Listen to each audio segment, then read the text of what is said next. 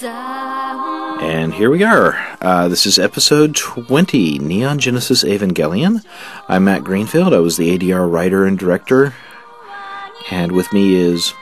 My name is Sean McCoy. I, you may have seen my panels around the country at various anime conventions, um, liable to speak for hours and hours until they kick me out about this show. Yeah, I mean, that's kind of the way uh, this title affects people. Uh, one of the reasons Eva has always been so successful is the fact that you can talk about it for hours and hours.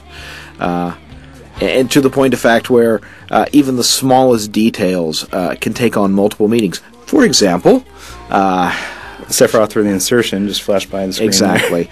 Uh, the opening sequence, in and of itself, probably has more plot hints than uh, most shows will in a couple of episodes. Even the Cruel Angel's Thesis song, uh, produced in various different ways. Uh, the singer right now is slightly ahead of the beat, where the uh, other singers who have done it on the CDs were slightly behind the beat, like uh, when uh, Rei Ayanami's voice actress did it. Uh, interesting things like that, they, they'll decide to work in. Mm-hmm. And of course, in the, the in credits, of course, being sung entirely differently every time, mm-hmm. and with the coloration of the scene often varying. Now, there's a lot of interesting things that go on. Uh, now, this particular episode uh, delves a little deeper into Shinji uh, as a character than we have in the past. Yes. Uh, so the the uh, unit one is just. Um, gone berserk and is in, uh, ingesting the S2 uh, engine, which is basically uh, the engine that would allow it to act without an umbilical cable. Uh, so it's kind of the if you look at it as the umbilical cable as the strength a parent would provide their child, uh, it's a leash and it's a source of energy. Um, he now is kind of growing out of that, so he's be- he's kind of becoming rebellious youth in a way as he's becoming uh, as the Eva One's becoming rebellious. And just as a side point, note that the hand has suddenly become far more human than it's ever been before. Hmm. Happy to see Kaji alive. Indeed. And of course, there we were seeing. Uh, was that the face of Lilith, or what was that? Hmm. Well, it's it's remarked about uh, by many fans as being uh, in Ezekiel. Uh, it's extremely vague, and trying to find uh, a biblical source for everything in this show is, you know, more work than I could bear. Uh, but uh, people people do try. Um, you can look at it in many different ways. There's many different theories from various different faiths about this. You can look at it from a, a Zoroastrian point of view, if you like, about uh, you know the, the, sources of monotheism, and it's, it's it's open to all these interpretations, much like religion is, because it's uh, it's symbols that have been reused and um, recycled and perfected over thousands of years, and that's one of the reasons why the show is just so universal and so personal for so many people. It's because it kind of uses the same tools. Mm-hmm. Yeah, it's uh, and, and in that theme, uh, I think what, what Anno and the Gainax artists have done is by pulling together symbols from a multitude of cultures, uh, they have kind of been able to draw attention to things. I love the cat pillow. Yeah, ni- nice pillow. the, the, cat pillow is always important. Um, that's Ritsuko's pillow, by the way. Mm. Um, but uh, they're able to throw things into contrast without being overtly blatant to the original intended audience. I think actually people in the United States uh, tend to get a harder slam from the show in some ways than in Japan because having been born into uh, a Christian based society, which, like it or not, uh, there's no two ways about it, that's what America basically is. Uh, a lot of these symbols carry a lot more weight than they would in Japan, where Christianity is not the dominant religion. Absolutely, and we could look at the way like, episode one is is filled with uh, reluctant Messiah images, the angel itself representing the reluctant Messiah, giving back stigmata, giving back a cross explosion, um, kind of dealing with Shinji's issues um, represented in this conflict. Uh, they're powerful, but they don't actually have to mean you know it's it's not specifically a Christ figure. Exactly. Uh, and that's why I think a lot of people will tend to read certain angles into things, which may or may not have been the original intent. Um, I do always wonder why, for example, uh, Chairman Keel wears uh, that little visor in a completely black room. you know, it's like, um, okay, what is he hiding? Well, he's hiding a lot. He's hiding the, the gateway to the soul. In the in the Kabbalah, it mentions that the um, the eyes of Adam cast light upon the world, so no no sin and no untruth can be found um, or or can hide. So basically, all he sees is absolute. Where Keel basically sees nothing. At least, in, I guess you could say in Shinji's worldview. Right. Mm-hmm. Uh, and then, of course, we've got uh, just the entire concept of Seele in general and the meaning of Seele uh, versus the the meaning of NERV per se. Mm-hmm, mm-hmm. And if you look at it, uh, you can use the um, ego, super ego, id uh, comparison if you'd like to see the relationship of it. Um, there there's so many layers, but basically what it does is it provides structure um, that uh, is proven to be the human condition. I mean, it's it's what art's been dealing with for so long, and uh, and what is what is psychoanalysis besides entertainment from the 20s? I mean, it's it's um, these days it's you know it goes in and out of fashion, but it's basically a way of it's it's a, it's kind of an entertainment. Um, and uh, this show, you know, uses the tools of psychoanalysis to just get deeper to the human condition, which is all art is about, is, is reconciling the, human condition, which tends to be suffering. And uh, Shinji's overall issue is growing up, becoming a man, dealing with opening up to other people. I mean, we see in earlier episodes, he is not defined at all. He is completely blank. Um, yet later on, um, he develops friendships. He um, you know, goes dancing with Asuka. He, you know, there's there's all these things, and he's kind of becoming more and more complex. Uh, and you just look at this all all through that um, allegory, and now Shinji is basically lost in thought at this point. He's he's he's inside the Eva. He's he's reconciling the different faces that he's he's seen, and uh, because he basically just took the first giant step to becoming a man in uh, in the uh, figurative sense by uh, taking in the S2 engines. Now he has his own sense of potency, as well the Eva does, which is, in my view, a uh, kind of a, an extension. It's it's his uh, mature form that he's growing into. It's a form of power and strength that uh, he'll have to he'll have to agree with. So he's kind of losing innocence at this point. He's dealing with all these these sides of people he's found, and he's going to have to be reborn.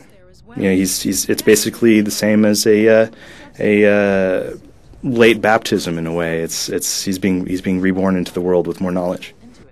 Yeah, we also have the recurring theme coming on here uh, of the bandages, of everyone being wrapped, of the wounds. Uh, besides the Eva itself, of course, is bound, Rei is bound. There's there's all of these things going on, indicating that great damage has been occurring and now it has to be undone. Absolutely. So he he. This is, by the way, uh, one of those odd little bits that's hard to explain. Is why is the suit floating there? Uh, well, if you look at it, uh, if this is all Shinji's worldview, that would be his, you know, as they say, residual self-image. So it's basically he is defining himself outside of himself, he is an Eva pilot. That's what people see him as, and that, so that's basically all he thinks people see of him is the plug suit in a way. His insides are, are hidden, and you know, no one really understands him. And like uh, Asuka happens to be very proud of it. She always uh, leaves the, um, the the sensors on her head as hair clips. Yeah, the, the hoo-hoos. They are actually technically called hoo-hoos. Hoo-hoos. Oh, excellent. Hoo-hoos, yes. Uh, we actually uh, never had a name for them, and Tiffany started calling them uh, hoo-hoos while we were doing the show. And actually, uh, that's kind of become on the the live action motion picture discussions that actually became the technical term for them. and I love Asuka saying, uh, "What are you stupid?" I always like to say, um, "You blockhead." I always compared these to Peanuts characters. yeah, we we'd actually kind of wanted to do that, but there weren't the proper flaps were incorrect. Um, actually, one of the other volumes, the, the little special devoted to Asuka is called "That Little Red Haired Girl." so Okay, here we have uh, Shinji defining enemy as first something that's attacking him, and now he's he's defining en- enemy as a thing that's causing him pain now, which is you know his father. His father's the one who's saying grow up. Basically, he's the one that brought him back to Tokyo, uh, Tokyo Three, to basically say you have to right now grow up, go suffer pain, and uh, you know be a man. And what initially gets him to do it? It's a it's a damsel in distress. So we see that women generally are the the thing that, that gets Shinji to do anything. Um, even though he's he's extremely shy, uh, he's it's basically it's basically traditional chauvinists, you know, for the girls kind of thing. Um, and his father is the one saying, "Yeah, yeah, you got to do this. You got to, you have to, uh, you have to grow up and suffer, um, go out into the world and suffer."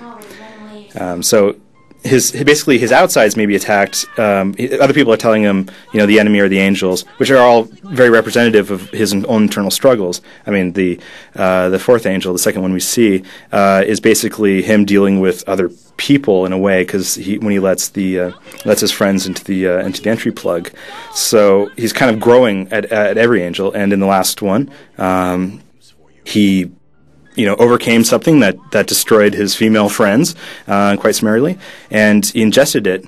And, you know, uh, cannibalism, the idea of taking the power from something, you know, that's a very primitive masculine urge, I'm sure. Mm-hmm. And it also rolls back into the whole religious uh, concept with the idea of consuming the, the flesh and the body and the blood of Christ. Uh, if you want to draw that analogy, uh, he's basically taking something into himself that wasn't necessarily there before, or that he hadn't found before. Exactly. And so here we see um, the same the same point of weakness that's existed in all the angels he's fought before is now revealed, and he kind of maybe he's starting to. Um, other people can start to see that uh, the angels are there for a reason. They are really harbingers of, of some message. There's there's a lot more going on here than a simple mecha show. Well, obviously that's clear at this point, but uh, uh, indeed, uh, always find it very fascinating that for a show that's supposedly a giant robot show, the robots figure so little. Of course, they're not even robots actually, but the fact that they figure so little into the story itself. Uh, you go multiple episodes where you don't have a single robot battle. It's really about people and the the, the story between people. Mm-hmm. And uh, my favorite quote is uh, somebody compared. They said if you compare Evangelion to a mecha show, it's kind of like calling Twin Peaks a cop drama. You know, there's just, just exactly. This this a little bit here also the other thing I always find fascinating is everything is about being in transit from one place to the other.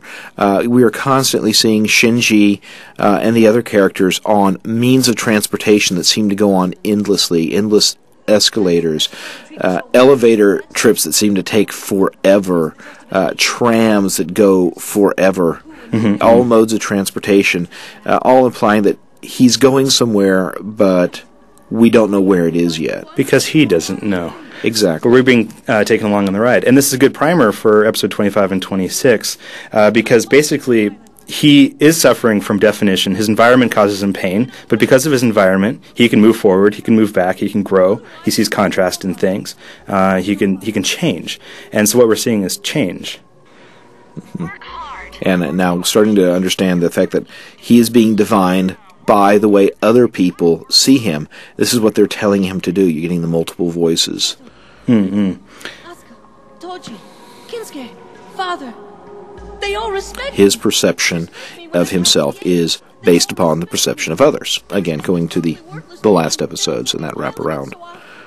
Actually, yeah, and basically, you know, keep in mind, Shinji is going over episode 26 on his DAT tape over and over and over again. Mm-hmm. Um, 25, 26, over and over again be nice to me.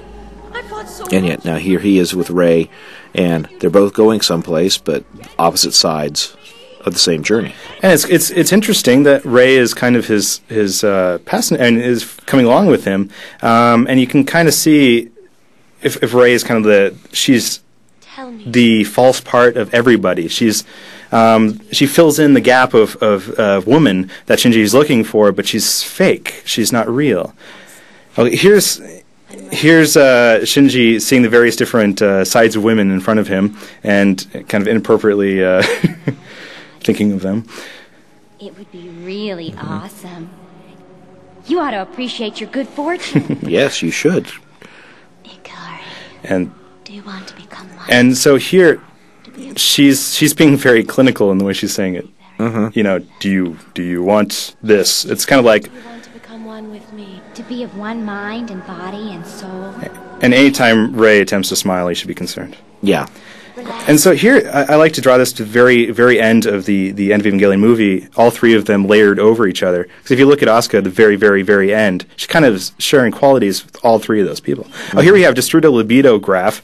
Um, it's basically showing that he's, he's uh, going too far into the self-destructive instinct, which is basically the thing saying that you will fail and you should not try and you, you, shouldn't, you shouldn't do anything because you'll, you'll uh, ultimately die. Or you, uh, it, it's tied in with uh, Thanatos, which is the you know basically the destructive instinct altogether, you know, the anti-creative instinct. So here's another primer for episode 25 and 26, where the definitions of people is being um, uh, simplified down to katakana. Mm-hmm. oh, yeah, that was Skanji there. Um, but uh, Shinji isn't really seeing much depth in people. Uh, the, the, the, the, the forms where Asuka and Misato and Rei were taking before were very simplified. Um, and he's having trouble reconciling all that, I suppose. Mm-hmm. He's still basically seeing, trying to see everything in a simple way, a childish way. Exactly. You know, he has not put that aside yet, and because of that, he cannot progress to the next step because he cannot realize that there's a complexity that has to be understood. Uh, the key to the Jungian definition of self is the reconciliation of opposites, the realizing that there is contradiction in the world. And this is the key to uh, Adam and Eve leaving the Garden of Eden. They enter a world of contradiction. I mean, Adam was initially bored because he was everything. He was a reflection of God. And so uh, basically, there, there wasn't anything that wasn't him. And so there's no point in being. There's no want. There was no need. There was no hunger. There was only stuff necessary to exist. And um, uh, when he asks for Eve, he basically asks to have something taken away from him so he'll have something to strive for. And the emptiness that Shinji feels is basically in the shape of Asuka, if she, if you view her as as Eve, as I think you're forced to, um, and I think is the correct interpretation. Um, here we have Misato wakes up Shinji in his in his uh, introspective nightmare. Inside the Eva. And now Shinji, the inner child, is dealing with the inner inner child. Mm-hmm. um, again, again, the deformed self that he uh, he's trying to define for himself. He's just childish and, and simple, and kind of like when you were, uh, you know, when you're in first grade, you can you can stay home from school and you know live a simple life. You know, if you're you know you know play that you're sick, but he's uh, he's now realizing that he has to grow up. That which is is. And well, extremely complex dialogue coming out of Misato. Yes. It's your and future. Only you. Basically, it's just saying this this world is is what you make of it, uh, and if you if you stay alone, if if you try to get bar- back into the Garden of Eden, um, try to get back to the point of simplicity, there's no point in living. Is you have nothing and you have nothing to gain, uh, and you know Misato understands. mm-hmm. I think in in a lot of ways. Uh, the character Misato is one of the ones who's least delved into in Eva. Uh, there's a tremendous amount of depth to her, more or less as as a forerunner uh, for what the paths the other characters have to go to. Mm-hmm.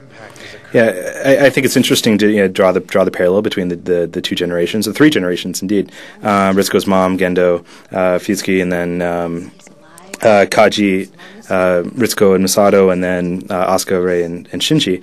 Um, I find a very interesting point uh, that, this, that Sadamoto decided to put in the manga, basically saying uh, Asuka says, "Hey, where did you go on your your uh, school trip?" And uh, uh, Kaji says, "Well, actually, that was the second impact." mm-hmm. So Kaji seems very very comfortable and very aware, um, and kind of what Shinji should try for. Okay, here we have we have Shinji passing through every everybody's favorite symbol of, of birth, which is water, and you know passing through it, and uh, so it's coming out of the womb, um, and he is reborn naked in the world. So now he has think of it as he basically has the S2 engine in him now. He can have a spine now. Mm-hmm. Um, granted, we're not allowed to uh, appreciate it um, very much uh, with everything that happens in, in um, uh, later episodes because he's just he, he's not given time to rest really. Um, the the uh, troubles don't stop coming. Um, oh, and, and, for some for some deeper analysis into all this, or just just good for any uh, any fan to read, uh, Carl Horn um, a friend of mine who handles the uh, the Viz manga uh, of Neon Genesis Evangelion recommends that you read Foucault's Pendulum by Umberto Eco. It's sort of like a Da Vinci Code um, kind of book. It's just much cooler and it helps helps you understand this.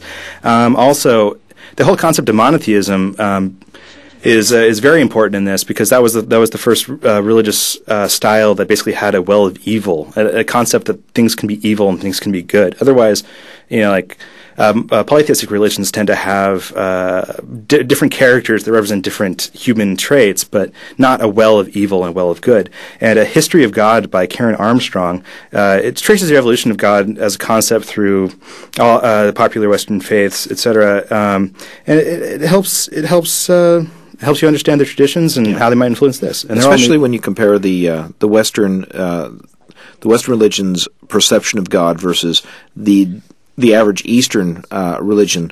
Uh, the biggest thing is that in Western religions, almost consistently, God is removed. He is in His heaven.